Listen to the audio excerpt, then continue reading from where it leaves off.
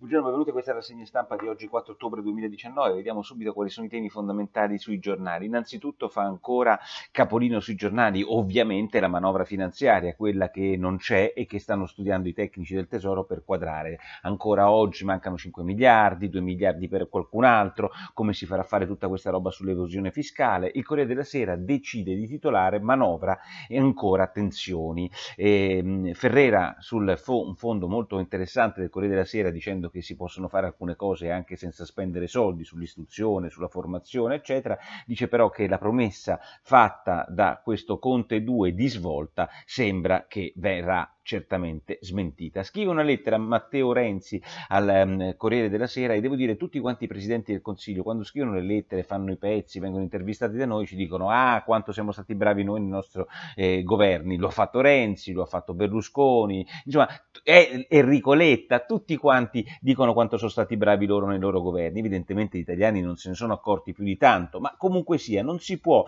dice Renzi in questa lettera, dice delle cose che sono assolutamente condivisibili, aumentare l'IVA per diminuire il cuneo fiscale. Eh, in, in, realtà poi fa, dà una mazzatina al vecchio governo Letta, quello che ha preceduto Renzi, dicendo che Letta quando aumentò l'IVA ci fu un disastro economico. Questo scrive Renzi oggi in una lettera al Corriere della Sera e dice che il vero punto è quello che è aumentata la spesa pubblica enormemente rispetto ai suoi governi e lì bisognerebbe agire. Per la verità la stessa identica cosa, anche se in termini ovviamente non renziani, la dice Alessandro Penati oggi su Repubblica, è sempre interessante l'economista Penati che dice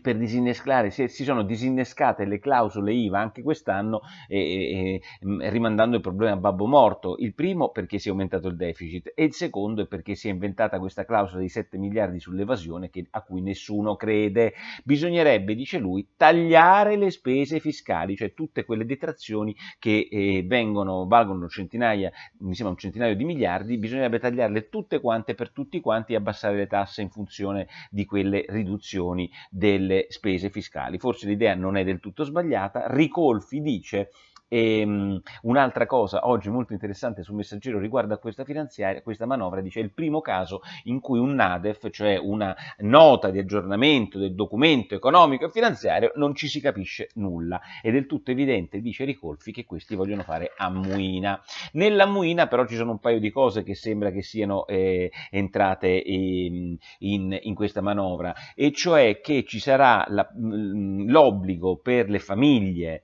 eh, per i badati, stati di diventare sostituti d'imposto dei, delle colf e dei badanti. Quindi sostanzialmente oltre a pagare i contributi ogni tre mesi con il cedolino dell'Inps, dobbiamo pagare, se abbiamo dei, delle colf o dei badanti, dobbiamo pagare anche le tasse per loro. E questo vuol dire che su 15.000-16.000 euro oggi calcola l'Assindat Colf, che è l'associazione più seria dei datori di lavoro dei collaboratori domestici, su 16.000 euro di stipendi anni che, annuo che si danno le colf si devono pagare 1.600 euro di tasse che evidentemente si presume che le colf non paghino e le dobbiamo pagare noi per loro, ma è evidente che cosa comporterà questo, un aumento degli stipendi di 1.600 euro, il che giusto o sbagliato che sia è quello che concretamente avverrà nelle nostre tasche. E inoltre si toglieranno le detrazioni, sembra che si vada mh, a togliere le famose detrazioni, non quelle che dice penati per tutti, soltanto per quelli che hanno più di 300.000 euro di fatturato. Eh, però c'è un piccolo problema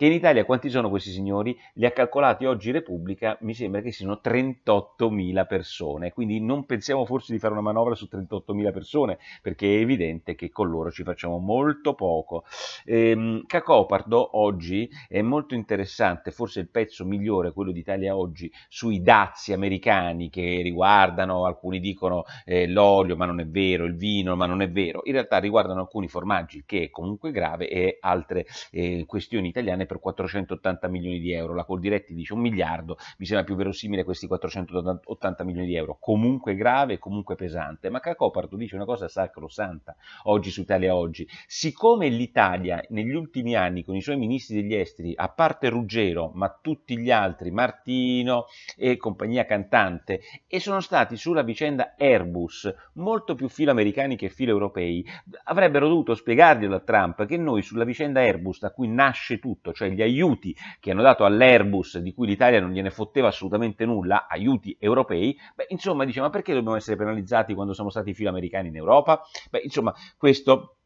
è quello che scrive molto bene oggi Cacopardo, terrore a Parigi, ma la storia è incredibile, quello che avviene oggi lo raccontano tutti quanti i giornali, questo funzionario della polizia di Parigi che alla prefettura, cioè alla questura di Parigi, prende e improvvisamente con il suo coltello di ceramica, dopo si era appena convertito all'Islam, eh, all'Islam prende e accoltella quattro suoi colleghi, si era appena sposato con una donna islamica, pare secondo quello che dice la Pen che erano mesi che non volesse stringere le mani alle donne nel suo, nella, nella, questura, se così fosse, insomma, prima, del, ehm, prima, dell'accoltellamento forse ci avrebbero potuto pensare che a questo gli stava uscendo la brocca. Eh, caso Consip è una cosa noiosissima e lunghissima, vi dico soltanto che la procuratrice Forleo, me la ricordate, quella che venne considerata far casino, essere un mezza matta, non da me per carità, ma qua a Milano, decide di, di, di rinviare a giudizio, di rinviare a giudizio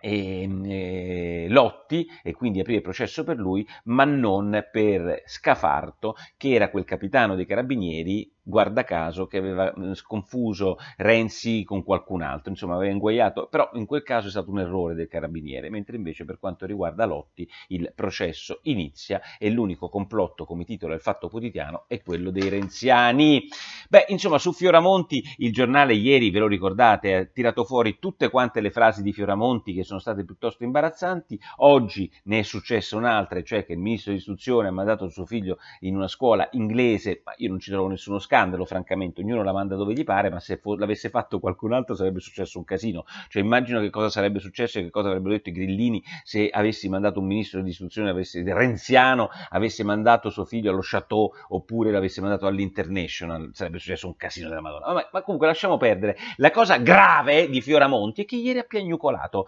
Questo piagnucolone, dopo che ha fatto il fenomeno, fa il ministro e si è inventato una serie di cazzate in, in, inaudite, ieri ha detto detto, ve lo leggo benissimo, se questi metodi eh, sono pensati per spaventarmi, dico che andrò avanti. Quali sono i metodi? Un hashtag su Twitter che dicendo Fioramonti dimettiti, il fatto che il giornale ha riportato le frasi di Fioramonti negli ultimi anni, questi sono i metodi? Fioramonti, io vorrei ricordarti, toc toc, sai che cosa hai detto? Io vorrei una bella Italia, una bella Italia sarebbe quella in cui un Brunetta venisse preso a manganellate dai carabinieri. Allora tu piagnucoli, prima scrivi che Brunetta deve essere preso a manganellate e poi ti metti a piagnucolare, ma fai a fa- ma, ma veramente, veramente, altro che Toninelli. Toninelli, come diceva giustamente Sallusti, lo rimpiangeremo rispetto a questo Fioramonti. Carola Racchete si presenta al Parlamento europeo e che cosa succede? I parlamentari europei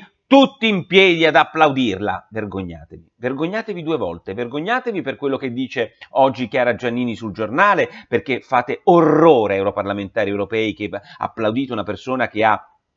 che ha eh, speronato una, una, barca della Guardia di Finanza italiana e per di più ha portato tre torturatori libici in Italia. Vergognatevi, europarlamentari europei della minchia, ma vergognatevi anche per quello che dice da sinistra Concita De Gregorio, cioè fate i fenomeni, applaudite Carola Rachete e poi tutti zitti e, e, muti. Sono gli stessi europarlamentari europei ai quali Carola Rachete dice eh, mi applaudite, ma dove eravate voi? Dice comprensibilmente una che secondo me dovrebbe stare certo non in mare a salvare persone, ma forse a casetta sua. Detto questo, ehm, l'altro grande tema di giornata che sia Repubblica sia il Messaggero, che lo, lo, lo usa da tanto tempo, ehm, è eh, diciamo sotto i riflettori all'Italia. Ehm, salvataggio in bilico. Secondo il Messaggero, il motivo per il quale l'Italia sarebbe in bilico è perché Atlantia, la società che controlla autostrade, non sarebbe convinta del piano industriale, dovrebbe metterci, mi sembra, il 30% in questa azienda, 35%. L'Italia ha perso 10 10 miliardi, come ricorda oggi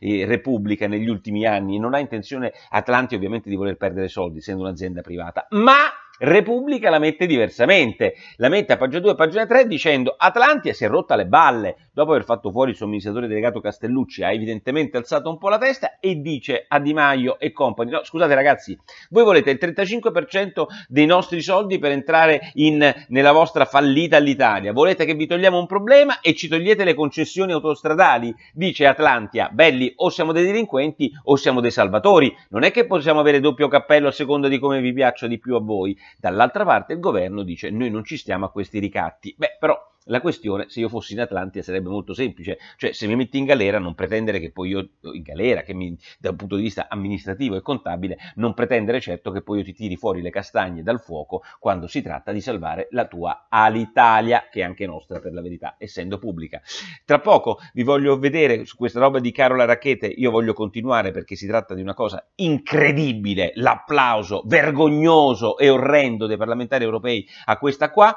ne riparlerò sul sito nicolaporro.com www.zuppa.it e vi do appuntamento come sempre alla zuppa di domani e al mio sito. Ciao!